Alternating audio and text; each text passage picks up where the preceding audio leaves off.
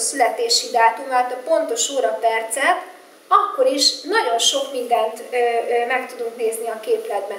Ugye most már, most már belekostoltunk abba, hogy mennyi minden látszik a születési képletből, kezdve az önelem, kezdve a párkapcsolat, kezdve a családi kapcsolatok, a, az egzisztenciád, a szerencseoszlopok alkalmával, hogy mikor, minek van itt az ideje, és még ezer dolgot meg fogunk tudni nézni. Az első és legkönnyebb pontosítási módszer, tehát amikor a váltáshoz közeli a lehetséges születési dátum, ebben nagy segítségünkre van az, hogy ezek az állatok, az állatszimbólumok felfedezhetőek az arcon. Tehát vannak olyan vonások, amik a bizonyos állatszimbólumokhoz rendelhetők, és ha ránézel egy emberre, én nem azt mondom, hogy mindig első látásra, de ha ráhangolódsz, rám merengsz az emberekre, akkor ezeket az állatokat igenis fel lehet fedezni az arcon. Például tökéletes elfoglaltság, amikor olyan helyzetben, főleg most, hogy itt tanulsz és gyakorolsz, amikor olyan helyzetbe kerülsz, hogy például várakoznod kell valahol. Állsz a sorban a Tesco-ban, és 25-en állnak mögötted, és éppen szalagot cserél a pénztáros hölgy.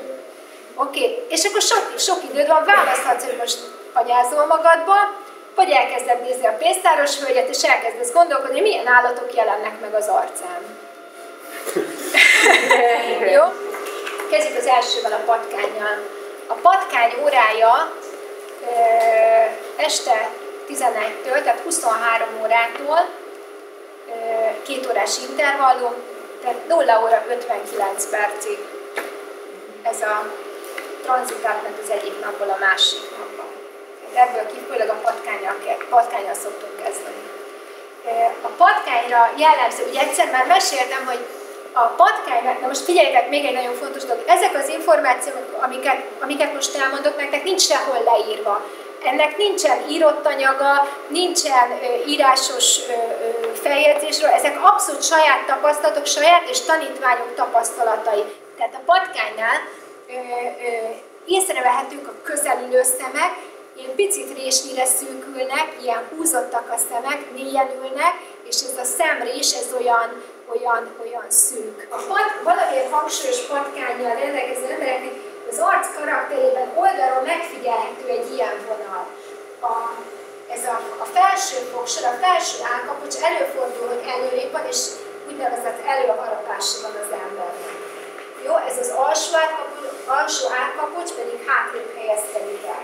Tehát például Chantelnek, ő volt a Madonnának a férje, abszolút, nézzétek meg ezt, ez a patkány szem, közelülő, ilyen kicsit húzottabb, és van, a, van az arca, tehát az orvonal miatt olyan keskenynek tűnik. Érzitek rajta, tehát, hogy mit akarsz említeni? A másik, Steven Spielberg, ugyanaz az, közel vannak a szemek, résnyire sütőre, vékony az arc. Így nézett ki Steven Spielberg iskolában. Hát egyértelmű, ugye, hogy látszik rajta? Látványos. Jó? Cameron Diaznak a szemén lehet látni nagyon a patkányt, ez a vékony, ilyen résnyire szűkülő szem, közel van egymáshoz. A következő állat a kígyó. A kígyót nagyon könnyű észrevenni az embereken. A legjellemzőbb az átható, velejéig hatoló tekintet.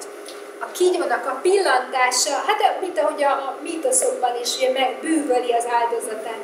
A kígyó embereknek nagyon erőteljes a szemük, megfigyeltem azt is, hogy a kígyóknál a szem távol, sokszor távol van egymástól, tehát a patkánynál egész közelülő szemek vannak, a kígyóknál kicsit távolabb ülnek a szemek, és akár nagy kerek a szem, akár mint a Priscilla Presleynek, valamiért szúra tekintet, vagy belét hatol, olyan, mint hogyha belelátna a vesétbe.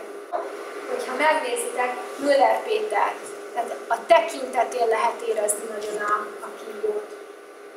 A, Harry Potter filmből a, a srác. Tehát nem is találhattak volna alkalmasabb szereplőt Harry Potter szerepére. Próbáljátok megérezni ezt, mit, mit akar a kígyó. Nagy, lehet, hogy nagy kerekszem, mint, a, mint mondjuk Müller Péternek. Lehet, hogy ö, ö, olyan, mint, mint a, a Harry Potterből a srácnak, de bozont, tehát ilyen bozontos ö, ö, szemöldök. Vastag vagy sötét szemöldök ugyanúgy a kígyó, tehát azt, ezt erőteljes kerekszemet, vagy erőteljes pillantást erőteljes szemöldök keresztezi. De tehát Müller Péternek is a szeme az nagyon-nagyon, hogy is mondjam csak, ez a szuggesszív, a tekintete szuggesszív volt. Denizer is nagyon él a szeme, Denizer hanem annyira nem. Hát nem akarom nagyon belekeverni a nyugati asztrológiát, de mindegyik skorpió. És a nyugati asztrológiában ez meg a skorpió jegyhez társítható. Ez a nagyon beleígható pillantás. A lónák karakterisztikai sajátosságokat annyira nem figyeltem meg, hogyha most nagyon kellene valamit mondanom, azt mondom, piros posgás arc, ö, ö, energikus fellépés, a fogak hangsúlyosak abban az értelemben, hogy kivillan nevetésnél, sokszor a, a hangsúlyos lóval rendelkező emberek nyerítve nevetnek, vagy fel tudnak nevetni hangosan, mintha fölnyerítenének, és amit meg lehet viszont náluk figyelni, az az, hogy iszonyatos gyorsan beszélnek. Rohannak, pörögnek, és iszonyatos gyorsan, gyorsan beszélnek. Olyan gyorsan beszélnek, hogy sokszor nem érted, amit mond, mert a lóra jellemző, hogy baromi gyorsan jár az agy, a gondolatai, hogy így, így pörögnek, és a nyelve, a mondani nem tudja követni azt a gyorsaságot, ahogy az elméje ugrál a különböző témák között. Ennél fogva például egy ló, sok lóval vagy hangsúlyos lóval rendelkező embernél, amikor beszélgetek vele,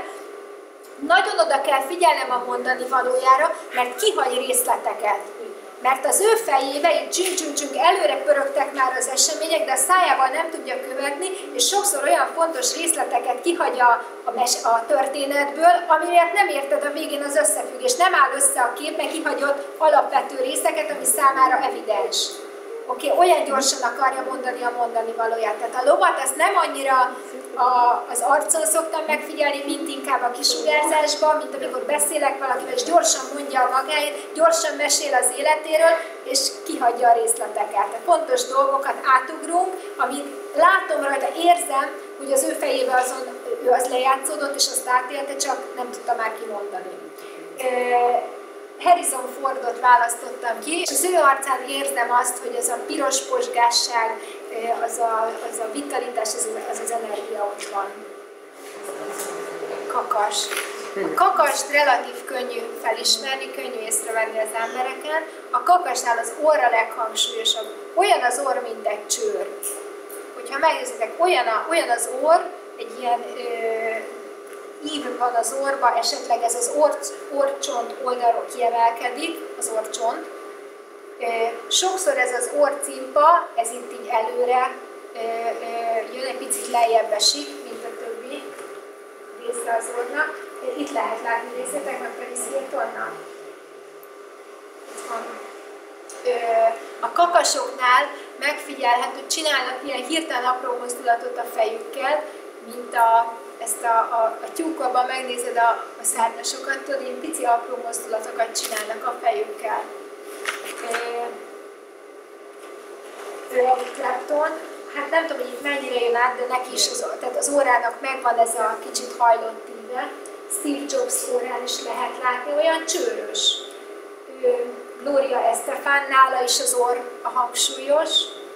Paris Hiltonnak is itt az orránál lehet látni látni ezt a kakast. Pontosításnál vannak olyan kulcskérdések, amiket az ember feltesz, mert ugye az óraoszlopot, ha nem biztos, nem csak az állatszimbólum alkotja, hanem egy mennyei törzs is.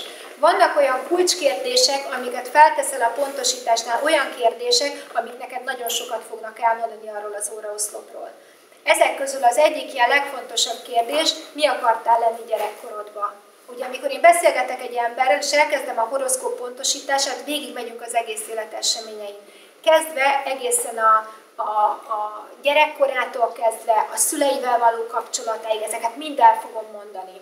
Például nemrégen csináltam egy ilyen pontosítást, kérdéses volt az óraoszlop.